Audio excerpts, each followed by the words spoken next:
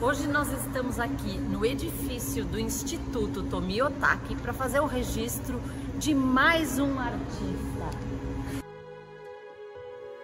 A exposição O Refúgio. Vem comigo. Vamos lá?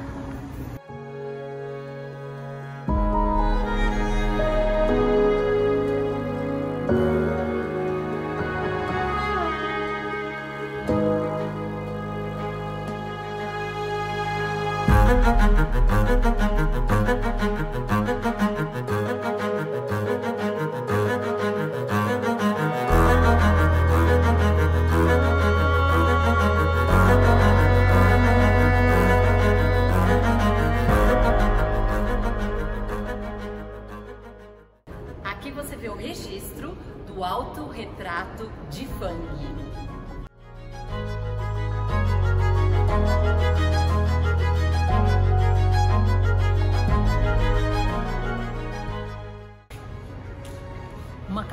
Característica das obras de Fang é que as cores elas são mais fechadas, né? Isso provavelmente ele traz é, consigo através da história dele, né?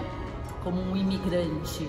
Não são cores vibrantes, são cores mais contemplativas, mais fechadas e expressa toda todo o figurismo, né? De um estilo, de uma história, de tudo que ele traz consigo quando ele chegou aqui no Brasil.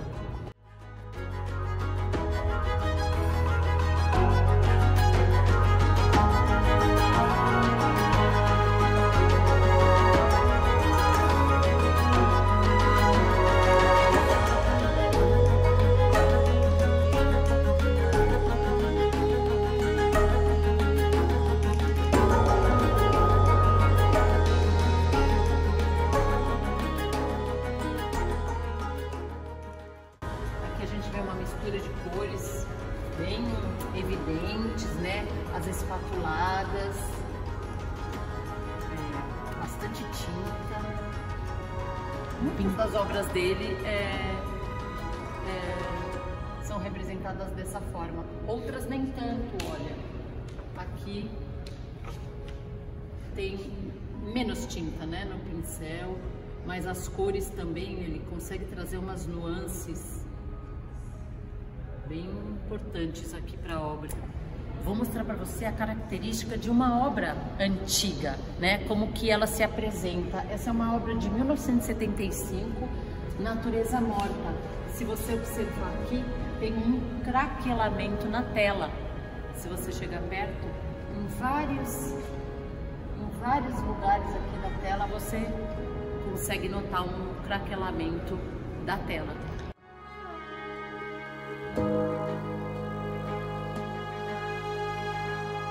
Figurativo bem realista, né? Essa, essa, essas duas obras aqui nós temos uma aquarela e uma, um óleo sob tela, é, aquarela e grafite, tá? E aqui um óleo sob tela. São duas obras é, bem realistas e figurativas. E aqui a gente vê, percebe a tridimensionalidade, né? Agora a gente vai mostrar para vocês um ambiente das obras dele em Nanquim.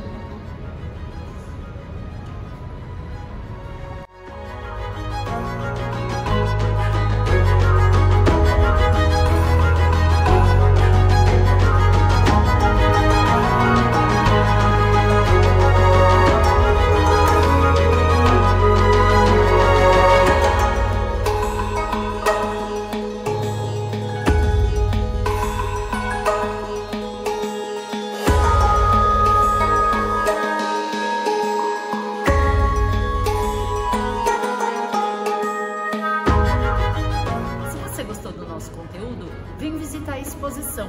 Ela está em São Paulo, no Instituto Tomi Otaki, até dia 26 de maio.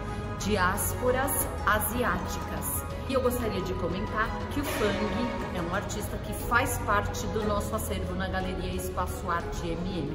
Então, eu aproveito para te fazer o convite E se você quiser conhecer um pouquinho mais sobre a sua obra, entre no nosso site www.espaçoarte.com.br. E se você gostou do nosso conteúdo, deixe o seu like e se inscreva no nosso canal.